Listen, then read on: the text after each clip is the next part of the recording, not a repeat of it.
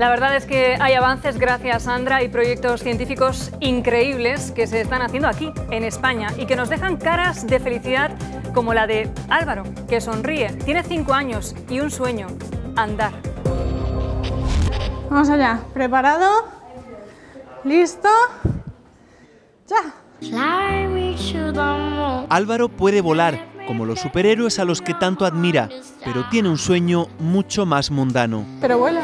No te vayas, no te vayas. Andar.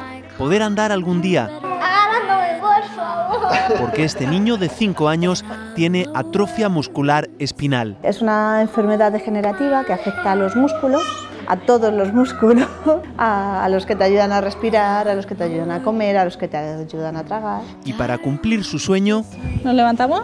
y dejar la silla a un lado, Adiós, silla.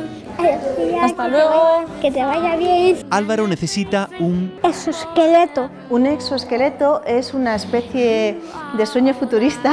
Un robot se adapta a tu cuerpo, lo sujeta y hace lo que tú no puedes hacer. Mueve tus músculos, lo que ellos no pueden moverse solos. y Álvaro ya lo ha probado. Estoy andando. Atentos a su cara de emoción y a cómo lo recuerda. ¿Y cómo fue? Especial para mí. Especial. Porque podía andar. ¿Y te lo pasaste bien? Sí. Él te llevaba, no, tú, tú no tienes que hacer nada.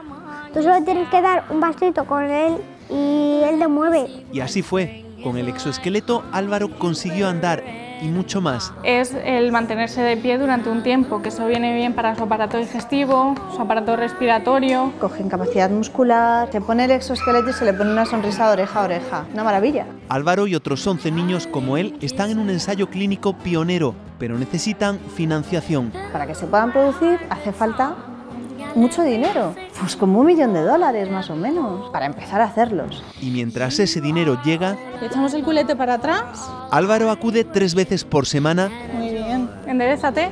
¿Te mantienes ahí? a la Fundación Dacer. ¿Te ayudo? A ver, chócame. ¡Ay!